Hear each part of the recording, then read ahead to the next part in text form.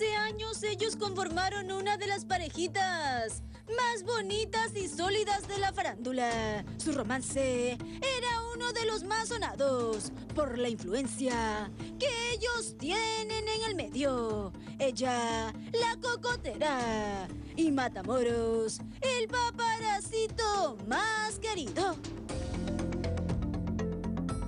Era tan fuerte su amor que hasta anillo hubo por medio, pero no llegaron al altar.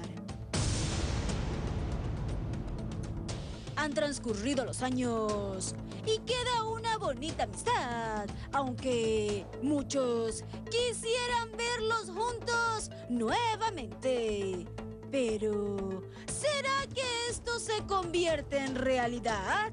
Ya que él está solterito y aparentemente ella también. Se dice que este fin de semana se los ha visto en playas muy apegaditos. Y aquí la fotito.